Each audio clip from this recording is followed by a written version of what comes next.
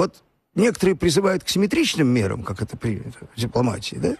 А я предлагаю все-таки асимметричные меры. Надо же как-то творчески подходить. Надо вызвать польского посла в МИД и выпороть его там. Привязать к скамейке и выдать ему, значит, и все. И, а, а что они...